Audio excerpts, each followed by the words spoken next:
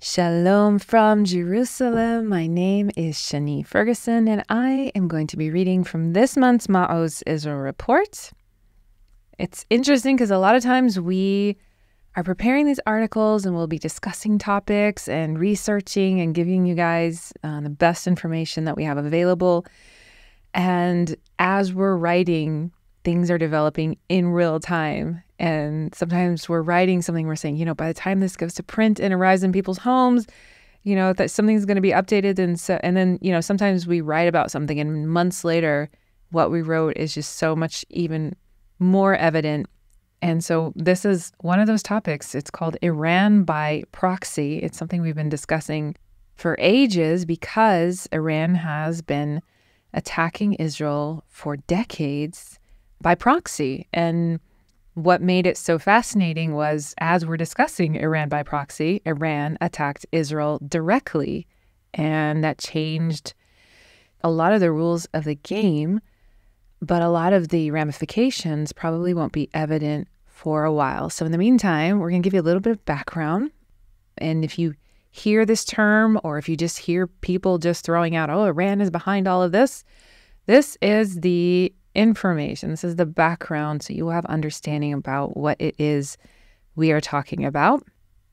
This article is by Shira Sorko-Ram, who has some 40 plus years of experience of writing about Israel, its development, its history, its context, its spiritual applications, cultural developments, really a treasure to people worldwide. She's been really writing firsthand ever since she moved to Israel in 1967. So, so let's get into the article.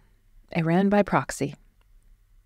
Not long after arrived in Israel in 1967, I looked up my friend Elizabeth, whom I had met while on a tour we brought to Israel my mother, who regularly went on these tours, also met Elizabeth and thought she would make a good fit for Chuck Kopp, who ran a Bible store in Jerusalem that his grandfather had established before Israel was birthed. My mother was right, and soon after they were married. Like many couples looking for a nearby getaway, Chuck and Elizabeth decided to take a vacation in beautiful Lebanon. At the time, tourists flocked Lebanon's natural beauty and historical sites. The Lebanese economy was known as a banking sector that attracted capital. Trade and services made it a key player in the Middle East. And the Lebanese of Christian background tended to be financially successful. Lebanon was the one Arab country which elected a Christian as a ruling politician. In fact, back then, a whopping 55% of the Lebanese were traditional Christian Arabs from Maronite and other denominations. Sunni Muslims and Shiite Muslims were very much a minority. In fact, Lebanon was known as the Switzerland of the Middle East. When my friends returned, they said it was one of the most beautiful places they had ever seen. It had a European feel, its citizens speaking Arabic and French and English. Though it had no relations with Israel, it was known to be a peaceful nation. Enter Yasser Arafat.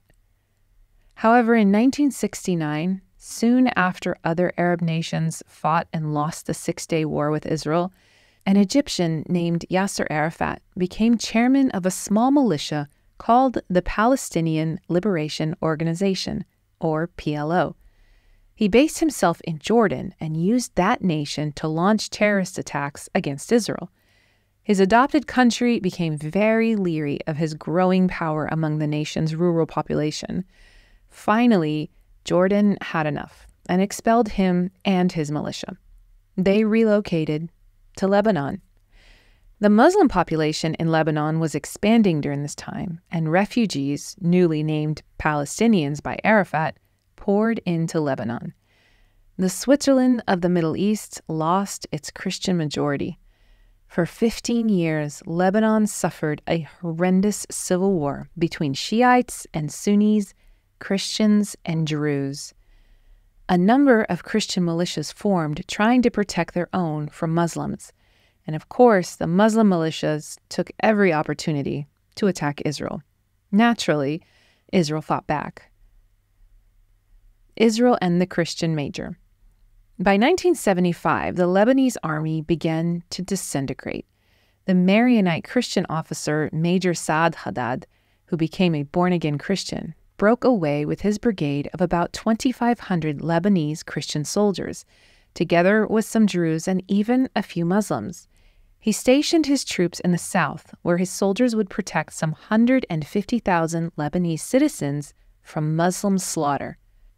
The price to hold this plot of southern Lebanon was brutal, and Major Haddad and his troops began to bring their wounded to the border of Israel. He begged Israel for help. During that period, a third of the patients in Israel's northern hospitals were Lebanese. That border opening became famous as the Good Fence. By 1978, Israel had had its fill of terrorist attacks from the Muslim militias led by Arafat and the PLO the IDF invaded Lebanon and pushed the PLO back 18 miles to the Litani River, creating an 80 mile long buffer zone. Major Haddad's newly formed South Lebanon Army, or SLA, became loyal allies, fighting alongside the IDF against the PLO.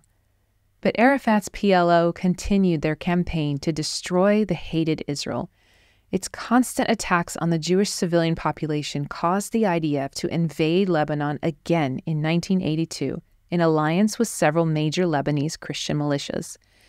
This time, Israel forcibly expelled the PLO from Lebanon. My husband Ari had served in the U.S. Army. When he immigrated to Israel in 1976, he was quickly inducted into the Israeli army and sent to Lebanon in 1982 to fight Arafat's war against Israel.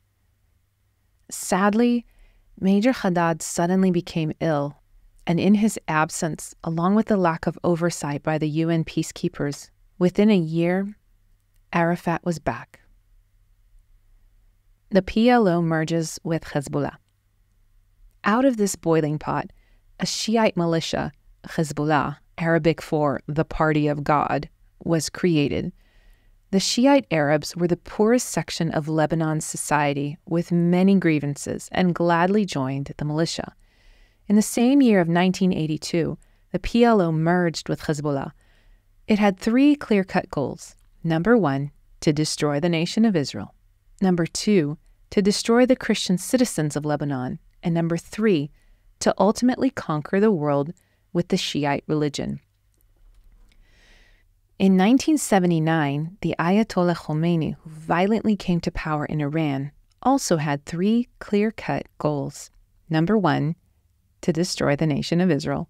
Number two, to destroy the great Satan America. And number three, to make Shiite Islam the world's religion. The Shiite nation of Iran saw an opportunity that could not be missed to make Hezbollah the scion, the offspring, the proxy of its Iranian Islamic Revolution. Iran would become Hezbollah's primary funder. With Iranian money, Hezbollah built a vast tunnel network far more powerful and sophisticated than that of Hamas, whereas Hamas had dug a 300 mile long network of underground tunnels. The IDF intelligence concludes Hezbollah has created a vast tunnel system in South Lebanon, much larger and longer from Beirut all the way to Israel's border, and in some places, even crossing into Israeli territory. When given the opportunity, like in 2018, Israel destroyed many miles of tunnel that crossed into Israel in Operation Northern Shield. But with the constant flow of Iranian cash, since then, Hezbollah has built new tunnels parallel to the old ones. The biggest threat Hezbollah is by far the strongest force in Lebanon. The UN peacekeepers disappear whenever Hezbollah warriors show up. In fact, many Lebanese, including the 19% population left of Christian communities, are boldly saying Hezbollah's danger to Lebanon is huge. As the number of Christians diminished in the country over recent decades, the nation deteriorated economically and culturally and is considered by many today a failed state. Currently, Hassan Nasrallah, Hezbollah's leader, claims to have 100,000 well trained soldiers. Not only that, Hezbollah's political arm is also a major force dominating Lebanese politics and spreading Iran's influence throughout the Arab world. And now its leader says they have precision guided missiles that can hit anywhere in Israel and prevent ships from reaching Israel's Mediterranean coast, as well as advanced drones that can either strike or gather intelligence. Israel today considers Hezbollah its most serious immediate threat estimating that the terror group has some 150,000 rockets and missiles aimed at it. In fact, the Israeli population of some 100,000 people living in Galilee have had to evacuate their homes since October and are at this time living in hotel rooms across the nation.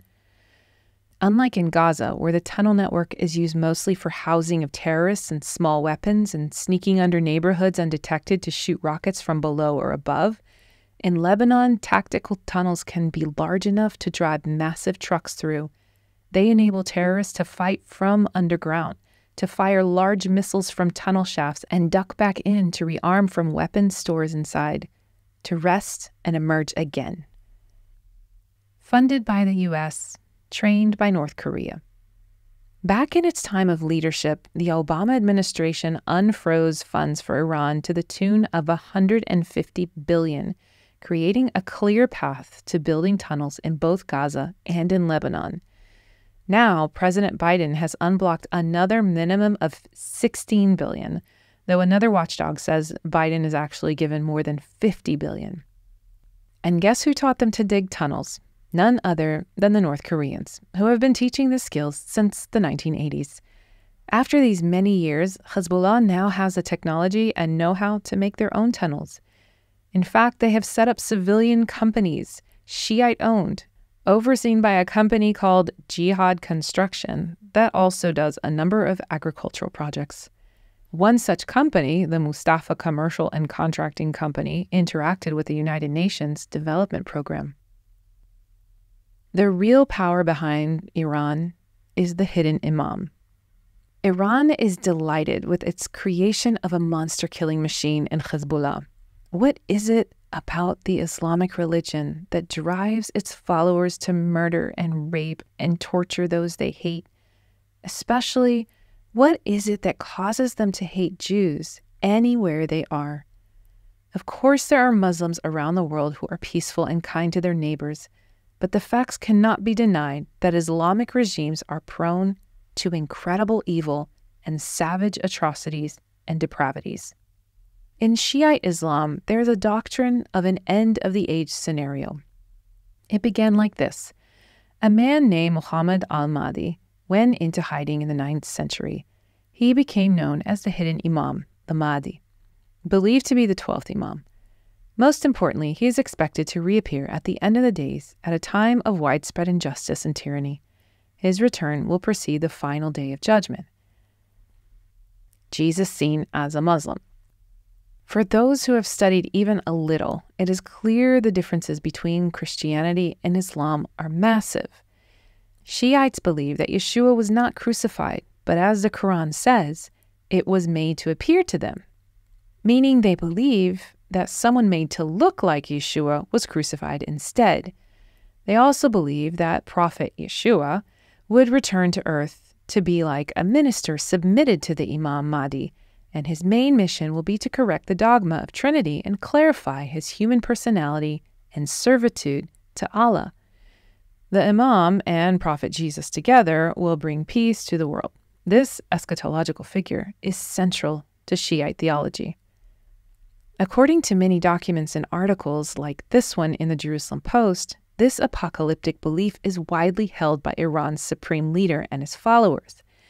It quoted Iranian's Ayatollah, in saying, in order for the hidden Imam to reappear, we must engage in widespread fighting with the West.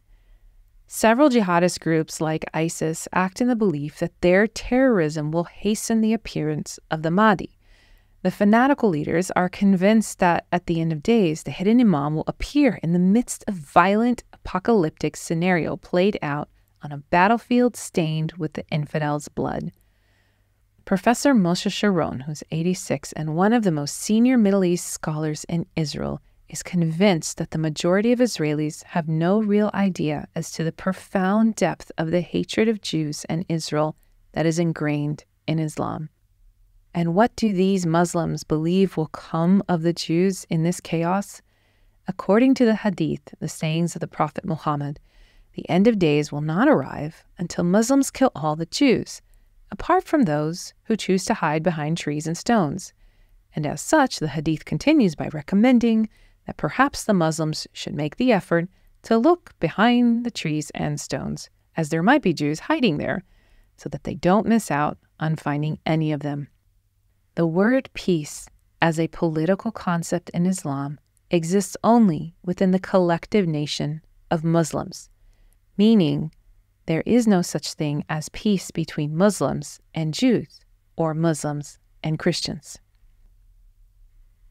Suddenly, as I was working on this article, I suddenly saw a notice on my phone that unmanned aircrafts and missiles of several varieties had been launched by Iran to Israel and would be arriving in several hours. I focused on praying, dealing with my trust in God, and finishing this article. Soon, I began receiving text messages from my friends and associates in many different countries who were praying and inquiring for our safety. I read the constant breaking news but no rockets, no sirens came to our suburb near Jerusalem. Then, at a distance, I began to hear quite a number of booms, which turned out to be our Air Force taking down missiles over Jerusalem. One memory Israelis will never forget was to watch Israel protect Islamic holy sites by shooting down missiles over the Dome of the Rock, the ancient site of our Temple Mount. Yes, Israel once again had to protect Muslims from Muslim attacks. The next day, as more of the story would begin to unfold, it was beyond anything I could have dreamed. 170 drones and 150 missiles were blown out of the sky by the Israeli Air Force with this sudden coalition of the United States and Britain, France, Germany, Jordan, and even Saudi Arabia. Out of over 300 projectiles, 99% were destroyed before they ever reached Israel. It was a true night of witnessing the verse, No weapon formed against you will prosper. Israel responded within a few days with a delicate attack. The message was clear we can cause more damage easily, but for now, we won't. And though the full extent and ramifications of this response will take time to play out, we, as his followers, are confident in one thing God is the same God yesterday, today, and forever. And that is all for this month's Maoz Israel Report. Thank you for listening. Can visit our website, maozisrael.org, see us on social media, or write us at connect at maozisrael.org. Until next time, I'm Shani Ferguson. Shalom from Jerusalem.